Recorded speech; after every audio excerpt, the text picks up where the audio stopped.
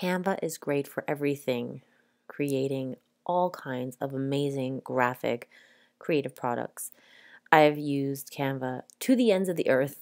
Not only do I have my websites created and hosted on Canva, I use it for thumbnails. I use it for my book templates that we actually publish on Amazon for people to buy real books.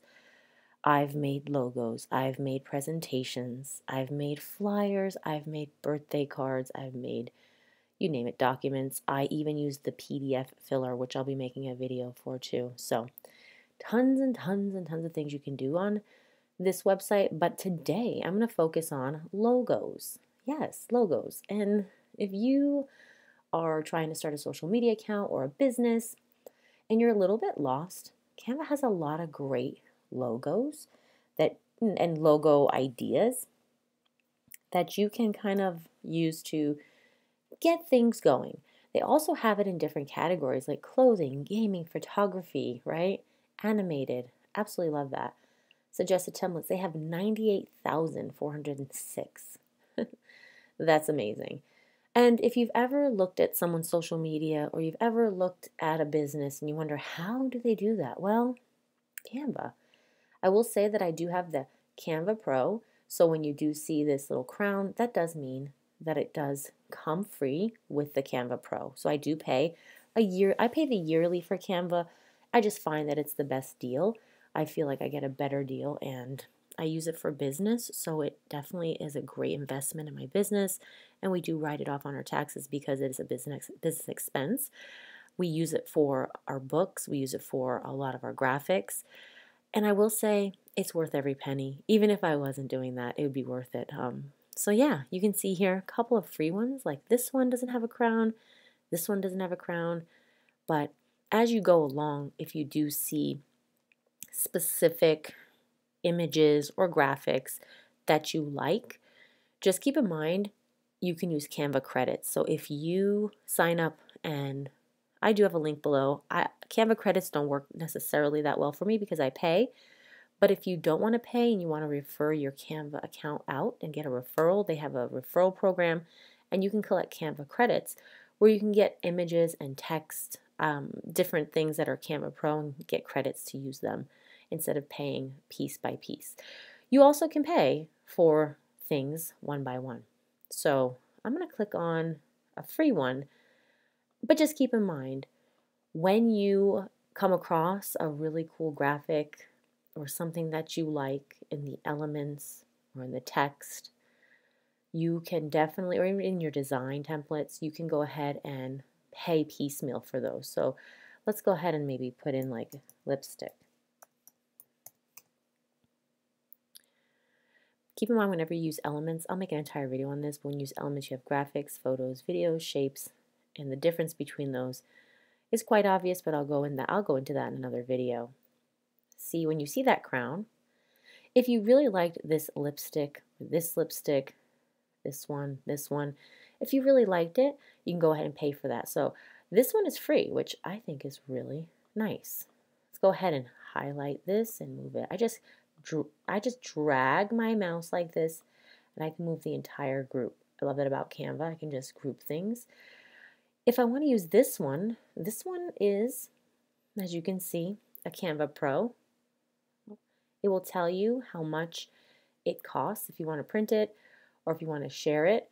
Um, I'm on my Canva Pro account, so it's not going to tell me specifically.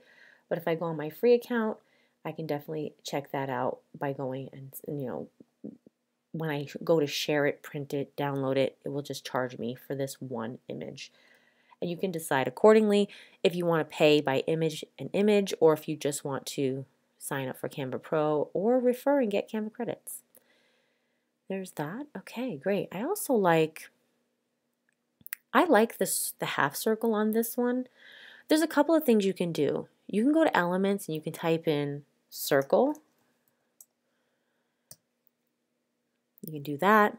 If you don't find something you like, like you could add this one. But if you see something from another template, which I see, there's something on another template that I like, and I want to show you what I do. This is just my little pro tip. Again, I'm not a Canva pro necessarily. I just like to play around with it a lot and I use it a lot for work. I went ahead and I added a page. So go ahead and add a page. You can add a clean, clean page here. You can delete it or you can duplicate the page. Okay, so I went ahead and do, I, I'm going to duplicate because I want to have kind of two different, I want to compare and contrast. So I'm going to duplicate and I'm going to get rid of this circle. I'm going to go back to design because I like this one here. Okay, so what I'm going to do is I'm actually going to add a clean page and add that on there. And then I want to take this and I'm going to copy this half circle and put it on here. Ah, see that? And then I'm going to put it there. So I can actually go ahead, compare and contrast these two, and I'm already loving this one a lot better. Love that. So yeah, when you're creating logos, you can go ahead and look at a template that might be pro and there might be elements in there that aren't pro. For example, this one. This is not pro. This Montserrat text. This Amsterdam 3, let's see. Nope, not pro.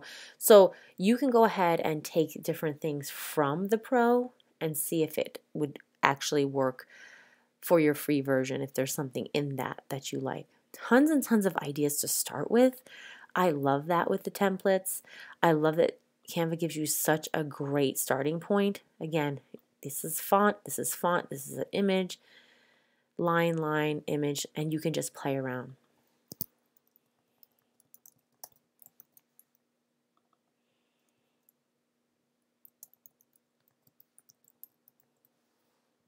Beautiful. So many great starting points, I have to say. I love Canva for that. And Canva allows, especially with the Pro, it allows you to use things that you pay for in your subscription so long as you modify it to look like a, an original version of that template. So each, I changed the text, I changed the subtitle, and now this is original. Now, when you want to print, you can go ahead and print and you can put it into shipping envelopes and canvas, you know, portraits and things. You can do that. Or you can go ahead and share it. When you want to share it, you can share the link to someone, maybe if you want someone to check it out. You can do anyone with link, can edit, can comment, or can view. Copy.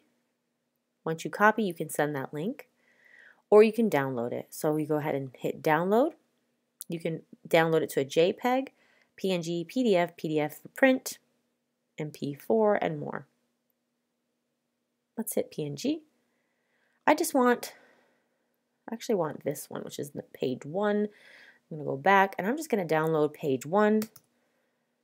And when I download it, you're save see it's telling me I'm saving a dollar using Canva Pro, which is cool. And if you weren't a Canva Pro member, it would actually charge you that dollar. I like every time that I use an image, it tells me, hey, you're saving money by paying. I've saved tons of money using Canva Pro. I went ahead and I, yeah, there it is. Downloaded it, and this is my logo, which is really cool. I can put it on my social media. I can go ahead and I can put it on my website. I can do anything I want with this image now. So I can save this to my files and now I have my logo. That's pretty much how you make a logo. It's really simple and I have to say Canva just makes it so super easy and they have so many great starting points. If you're making a logo or if you're thinking about making a logo, have fun, be creative, and have a good time with it. And that's pretty much what I do when I'm creating on Canva. I just get in there and I feel like I'm in a whole other world. If you like videos like this, definitely give it a big thumbs up. Subscribe if you're new, and we'll see you in the next one.